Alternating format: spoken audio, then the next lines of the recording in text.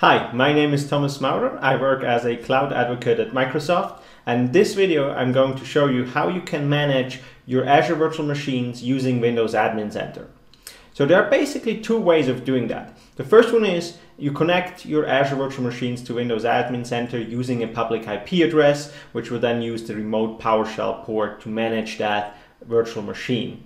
Uh, and the second one I'm going to show you is how you can use the Azure Network Adapter in Windows Server on your Windows Admin Center machine to build a point-to-site VPN connection and manage your Azure virtual machines without the need of a public IP address and without exposing uh, remote management ports to the internet. So check it out.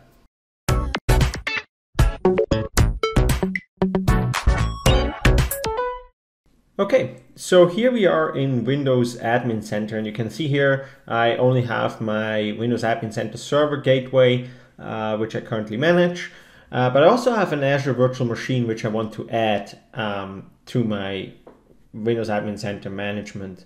And the Azure virtual machine does not I don't want to use the public IP address I want to use the private IP address. So if I go here to the Azure virtual machine you can see I have a private IP address and now if I want to add that into Windows Admin Center, obviously I will have a problem because I don't have a connection to that virtual machine on a private IP address. So if I ping that IP, you can see I don't get a response because my Windows Admin Center server runs on-prem and my Azure VM is in Azure and I don't have a site-to-site VPN. So what I want to do is I want to create a Azure Network Adapter to connect to that. So for that, I go to my Admin Center server and I go to networking.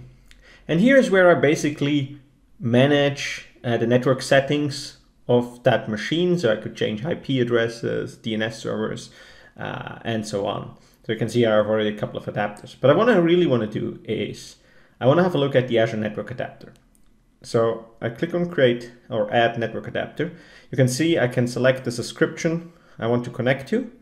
Then I choose the location or the Azure region.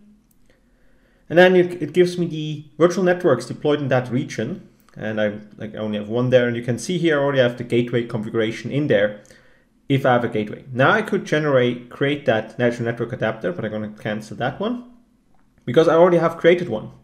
I'm just going to go and click connect. And this, you can see here now, this creates a point-to-site VPN and basically connects me to that network. And if I now have a look at the ping, you can see here, now I can ping that machine running in Azure.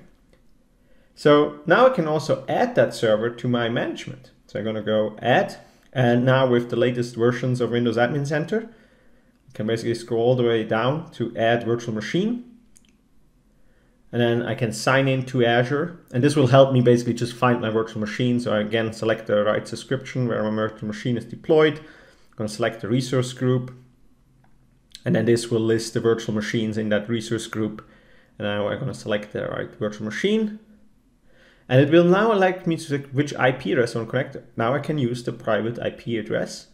I'm going to click add. And you can see here the server shows up. And if I click on this server, uh, I quickly need to enter the credentials for that specific server.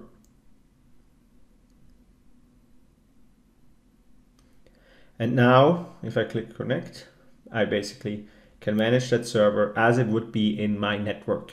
So I don't need a site-to-site VPN connection. I don't need uh, any other setup. I don't need to assign a public IP address to my virtual machine, uh, open any management ports from the internet. I can just use a point-to-site VPN from the Windows Admin Center server. So this means that like normal servers in my on-prem network do not have access to that um, network but the Windows Admin Center server, because it has a point-to-site VPN connection, um, can access that server. Now, obviously, I could also set up um, a point to like Azure Network Adapter on all of my servers, uh, which is fine if I have a couple of them. But if I really have a larger network with more devices uh, and all of them need to access that Azure VM, a point-to-site VPN is probably uh, a site-to-site VPN is probably a better option.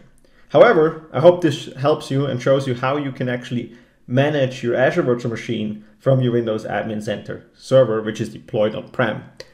There's also an option where you can actually deploy Windows Admin Center in Azure, and I have a separate video on that, which I'm going to link below.